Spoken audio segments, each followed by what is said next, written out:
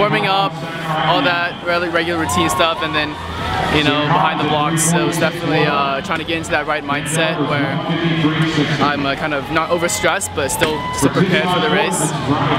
But then uh, kind of after that, just you know, getting business done. You know, I've, I've the hundred a, uh, a, lot, so um, I kind of already knew what to do. Everything was kind of force of habit, so just letting everything flow, making sure everything was continuous, maintaining the momentum, kind of stuff. So, and then you know, I think the time spoke for itself.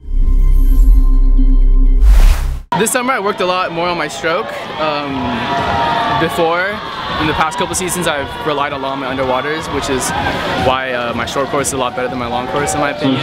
But I think uh, this past summer, definitely working a lot more on the stroke, getting, making sure that I'm not choppy through the water. I can maintain that momentum. I think definitely uh, helped improve and you know make that race happen as well as the 53-1 last week. So yeah, it's great. Um, definitely a, a, lot less pressure and stress going throughout the whole year. You know, a lot of my classmates around this time I have college apps and all that, and you know, I, I like only have one that I need to complete. So that's definitely a nice, nice little perk. Um, but I think it's just uh, the sense of security of knowing where you're going. I think definitely lifts a lot of pressure off in terms of both swimming, academics, and everything throughout.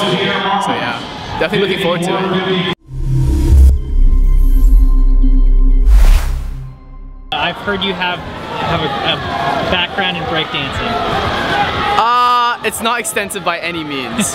it is, I like dipped my toes in the water. It is, yeah. I've definitely uh, done a lot more dancing in general over the past couple years. It's just been a really nice hobby of mine. I've, I've, enjoyed it, and it's it's a nice way to take my mind off of you know both both school and uh, and swimming sometimes when that gets stressful. And I think it's uh, helped maintain my flexibility a lot, which has helped translate into the pool as well. Um, breakdancing is more like something I've dabbled in, trying to get into, but I, I can't say I'm very good at it at all. I do take uh, my school's extracurricular classes, um, but that's about as far. I don't, I don't have an outside club or, or an outside studio that I go to, but yeah, that's about as far as I go with dance.